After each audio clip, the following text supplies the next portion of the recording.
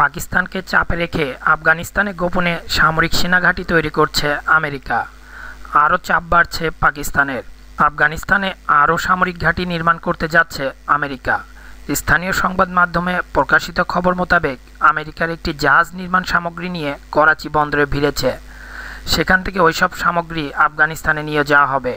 মার্কিন সেনাবাহিনী এসব সামগ্রী নিয়ে এসেছে বলে সাংবাদিকরা জানতে পেরেছেন।